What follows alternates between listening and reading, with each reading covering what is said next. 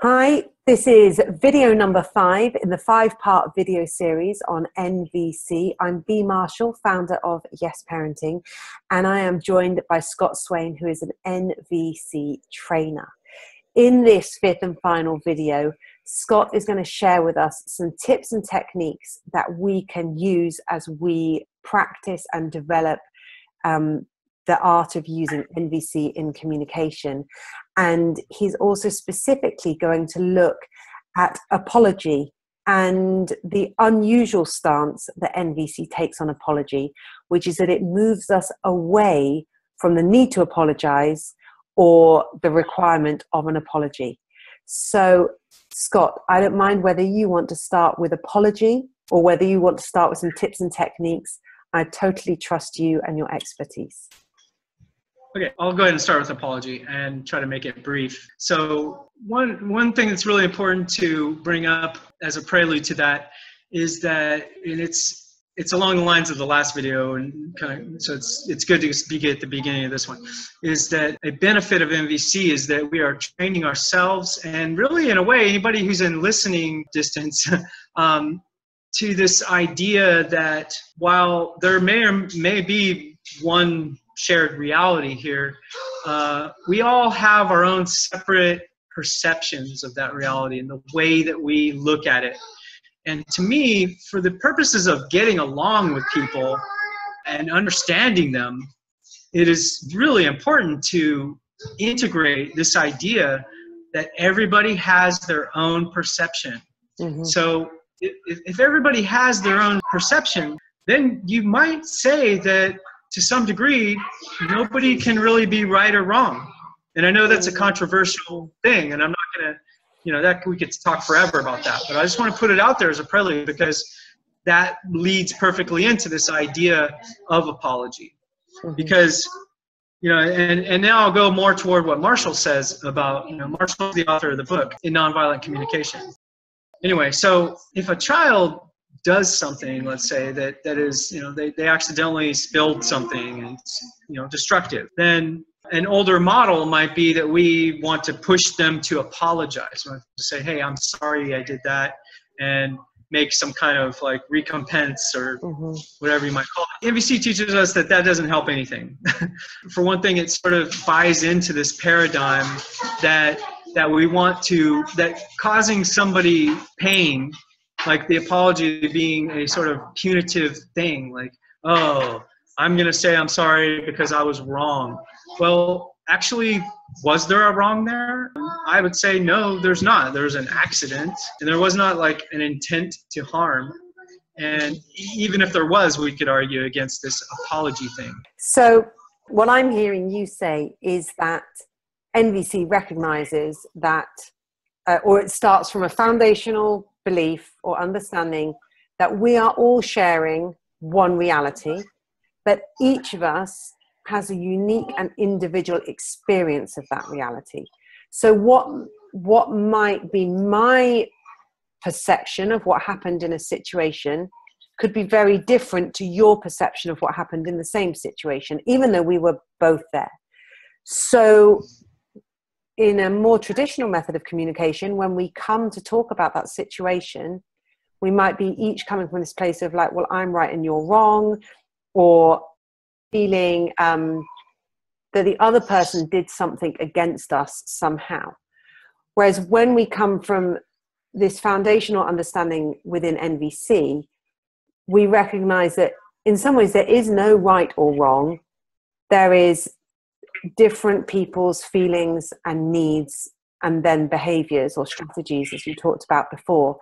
And as we go through the process of using nvc to step into that empathy that the kind of being able to understand what was going on for the other person and also being able to be clear and share about us so that they can understand then we don't need apology because that mutual community mutual sharing and understanding means that we can actually move forward together with more of a shared understanding of our reality. Is that right? Um, yeah thank you. You saved me there. I was kind of sort of floundering on that one and, and yeah. yeah you so much because yeah that's yeah no that's it's my pleasure. I i i have this ability to um, amazingly because i'm a woman of many words but i do seem to have this ability to to pull lots of things down into a condensed format. So i'm very happy to share that here. So moving on then from this benefit of nvc almost kind of making apology redundant is is kind of what i'm hearing um, how does that lead us into some tips and techniques that people can use to support their kind of NVC practice and develop it? Yeah, so uh, there's there's a lot there. I would start out with um, read book. To me, the book is pretty far superior to the audiobook. I mean, they have most of the same content, but there's some stuff missing from the audiobook. So, and I know nowadays it seems like people are moving more toward audiobooks because of whatever reasons. I mean, it's easier for a lot of people in their car or whatever. So if you can't read um, or you, you don't want to read, then yeah, get the audiobook.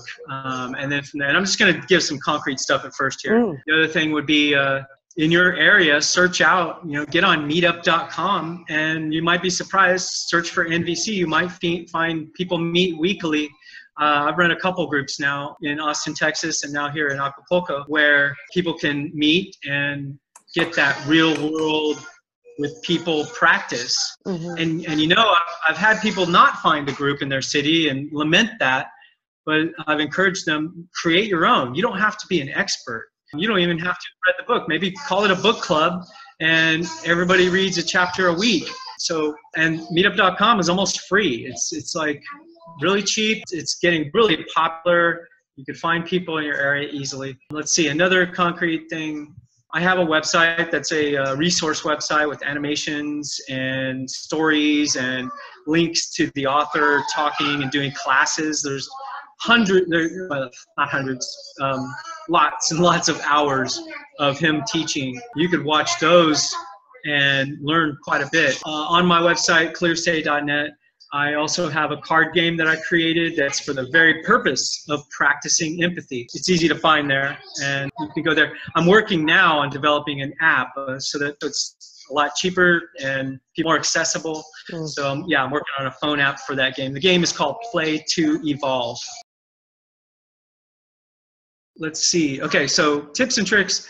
Um, one is to you know, if you have a partner or friends, just practice with them. Just let them know, hey, I want to practice this kind of you know this language, and would you be willing to just let me try it with you? And I really want to get more empathetic. Other is to practice it when you're out in public. I've I found some more often than not, automatically it happens. I find myself, you know, if you're talking to a waiter or waitress, and they're taking the moment to share something with you about their day or whatever. Well, right there, it might be tempting to talk about your day, but instead pause for a moment and think, what is this person really sharing? What's going on underneath their, you know, what they're saying there? What needs are they expressing? Mm. So it is important to get a list of needs from the either my website or you can search NVC needs on the web and get big lists of needs. So you know, I, have known lots of people. Um, people have been in my classes would tell me, yeah, they, they, they have a laminated card of needs that they carry in their wallet. So that can be a thing. Um, I'll pause there because you might have ideas that have helped you over the course. Um, as far as tips or tricks. Yeah, I, th- I mean, I, I guess one of my uh, biggest tips would be to just take it in small steps. I'm naturally someone that when I come across something new and it's brilliant and amazing and I can see how great it is, I want to know how to do it all at once. I want to, you know, I just want to be brilliant at it and I and I can find it frustrating to take the longer, slower path. But actually, my experience of nvc is that even just with a little bit of it, you experience so much more kind of liberation within yourself and it really starts to impact your relationships with the people around you. So so that would be my first top tip is just take it slowly and do small bits at a time. You don't have to master it to experience you know the incredible benefits of it.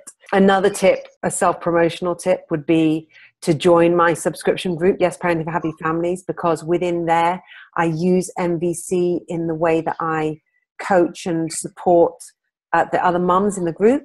And nvc is a, a kind of a, a cornerstone of yes parenting. It was you know one of the missing pieces i suppose that when it fell into place seemed to kind of create this really rounded approach to parenting that you know is changing lives around the world. So that would be another another tip. And my final tip would be to practice practice practice the self empathy because i think often we're not even very articulate with our own feelings and our own needs and the more that we can get clear on that for ourselves the easier it becomes to kind of in, to be curious, I suppose, about what someone else is feeling and needing. But I think that it's harder to do that for others if you can't first do it for yourself. Yeah, those are all important. There's one, um, you, you've mentioned it throughout a couple of the videos, and I'm wondering if now is a great opportunity, just in these last couple of minutes of this video, is you've talked about the kind of the clinical creation of the the, the, the nvc format and, and the kind of the clinical way of using it but you've also talked about the fact that as you get used to doing that you can become more colloquial i wonder whether you have any tips or techniques for how to move from that kind of clinical into the colloquial because i i know how awkward it can sometimes feel to use the clinical setup because it is so unfamiliar uh, to most of us. So, do you have anything that you can share to support people in that part of the process? Yeah, great question. In a, in the, the clinical, we're typically doing the harder thing, really, in a way, is, and, and uh, until it's integrated, and that is to co- try to create one sentence that is the empathy, NVC empathy process. It's like, uh, I see this, I'm wondering, you know, I feel this about it, and here's my needs, and would you be willing to do this thing? Or I see this, are you feeling this because of your needs and you're wanting this? So either way, that's the clinical, we're combining it all at once. And, and mm-hmm. really what I learned, and it took me a while to learn this, that mm, that's not going to be quite so effective. Uh, I mean, sometimes it really is, but the more effective colloquial approach to me is to break it up into pieces mm. and to be mm. really and so it's like oh wow so that thing happened to you and then just wait and let them yeah that thing happened and it was it was really scary da, da, da, da. Oh wow i could tell like when that thing was happening it sounds like you're pretty like afraid mm-hmm. yeah yeah i was pretty afraid because da, da, da, da, da, da.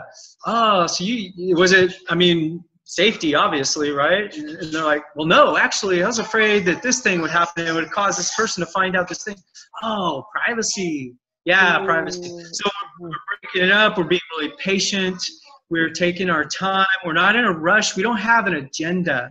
And that's yet another benefit of NVC that I didn't bring up earlier that, you know, it's not part of this video, but is we learn to let go of our agenda. We mm-hmm. learn to not put so much pressure on ourselves or others to have a certain outcome. Mm, that's a huge tip in and of itself is, you know, to give yourself permission to take your time and not to have an agenda.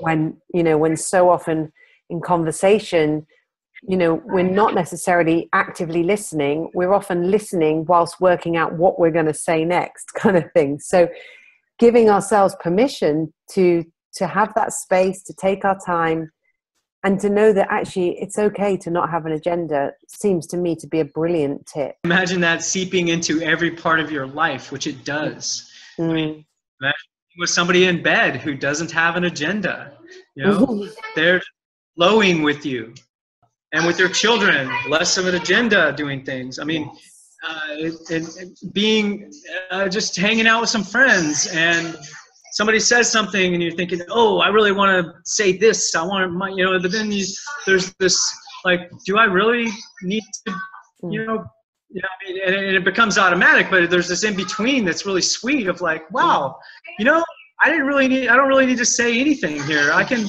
I can let events unfold And again, with your children, you know, the kid is doing something and you feel this desire to like control them or change them. It's like, well, wait a minute.